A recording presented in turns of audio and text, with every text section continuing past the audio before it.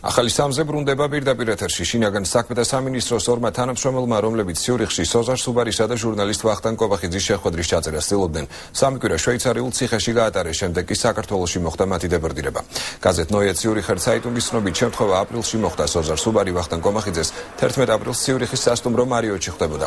სტატიის ავტორი სილვია შტიობერი წერს რომ შეხვედრას საქართველოს შინაგან საქმეთა სამინისტროს ორი თანამშრომელი საკმაოდ დაუფარავად იღებდა. ისინი ჩამწერი მოწყობილობიანად ადგილზე დააპატიმრეს. შემთხვევა შეხვედრა გაზეთ შვეიცარიის უშიშროების სამსახურმაც დაუდასტურა.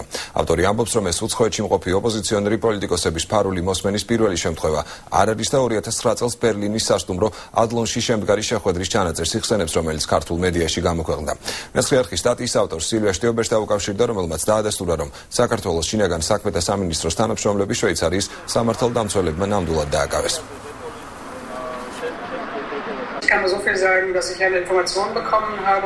შემიძლია მხოლოდ ის გითხრათ, რომ ინფორმაცია ჩემი წყაროსგან მივიღე და ეს შვეიცარიის უშიშროების სამსახურმაც დამიდასტურა.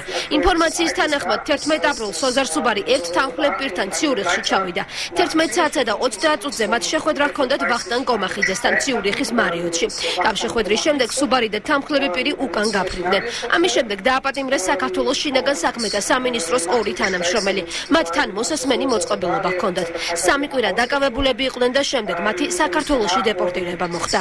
ის რომ სოზარ სუბართან შეხვედრა ნამდვილად ჰქონდა ვახტანგ კომახიძემ დამიდასტურა.